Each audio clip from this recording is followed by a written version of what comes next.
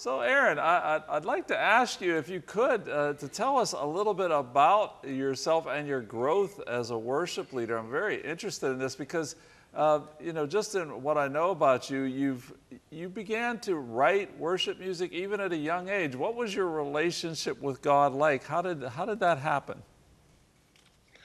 Yeah, well, for me, I grew up in uh, a small town, uh, one of the like the smallest towns you could imagine in the state of Arkansas, and uh, it was like small town, small church, small youth group. Um, but those were all actually really important blessings in my life. And uh, my youth pastor, when I was like seventh or eighth grade, just got word that I played guitar, and um, he he was trying to build a youth band, invited me into that and uh, before you knew it, I was helping lead worship every week. I didn't even really have the concept of leading worship at that point. You know, I was just learning songs and, you know, helping play music.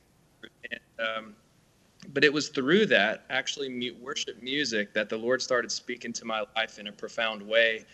Uh, maybe it was the way that God wired me to love music, you know, early on and um, and so I began to just kind of naturally, you know, in my in my house, you know, when I was not in church, I would just like start writing these really simple, kind of childlike worship songs that eventually we started playing them in our youth group. And I didn't, I wouldn't have said I had a, a worship songwriting talent or something like that. It was really just kind of the overflow of like my young faith.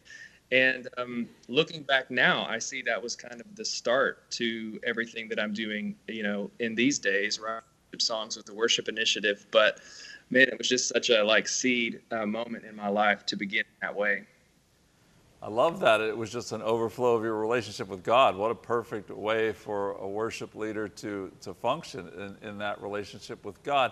And, it actually brings a question to my mind. What, what do you see as the role of a worship leader? I mean, how is it, is it to, you know, are you trying to teach someone? Are you trying to worship God and have someone kind of join you? What, what do you see as that role?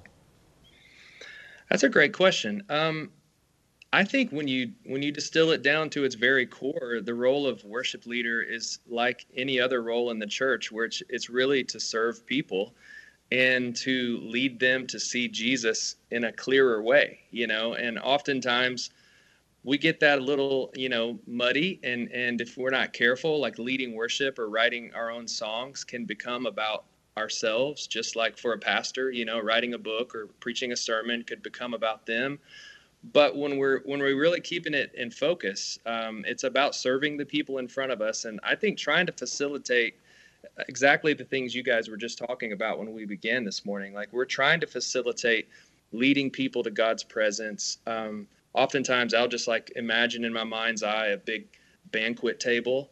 And uh, i'm not the host. It's like jesus is the host but i'm the one that gets to say hey come on. Like the table's set. Like come, you know, sit down and, and enjoy a meal, be in the presence of God together.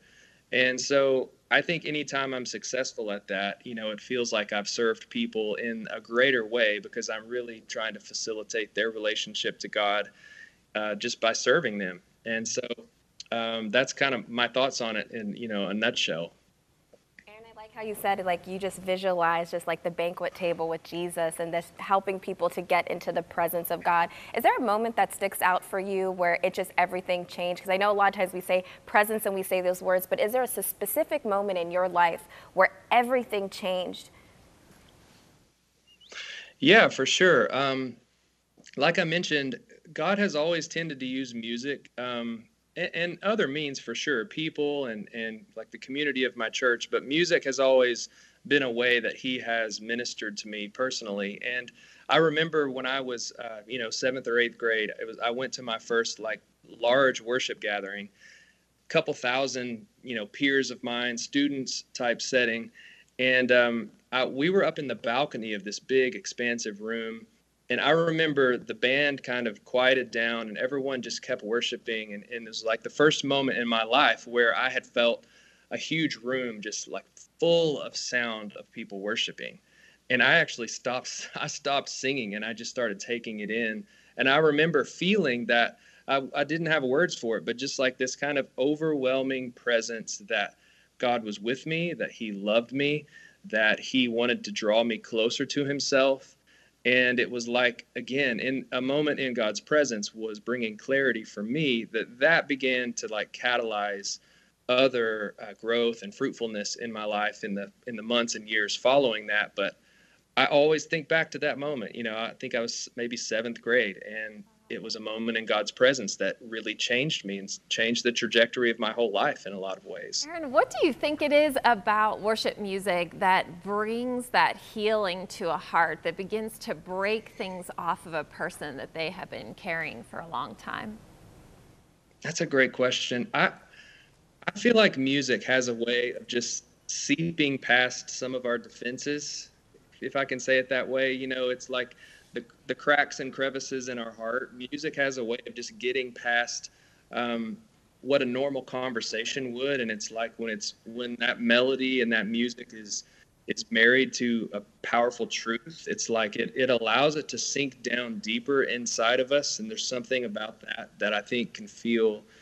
Uh, it can be healing, and it can be incredibly. Um, you know, it almost can make time standing still when you're in the middle of a song it's unfolding and you're worshiping.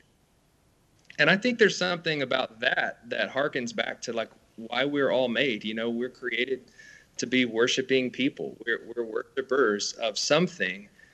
And I think when we direct that, you know, innate sense that's within us uh, to worship something back to Creator, there's also something in that moment that just feels right because it's like we're, we're actually doing what we're made for. And so something inside of us comes alive or you know we experience healing where there's been hurt or light where there's been darkness and those type of things. And it's one of the most powerful you know mystical aspects of music that you can't you can't grab it and you can't force it but it's it is there. And i i think it's the spirit of god empowering songs you know to do his ministry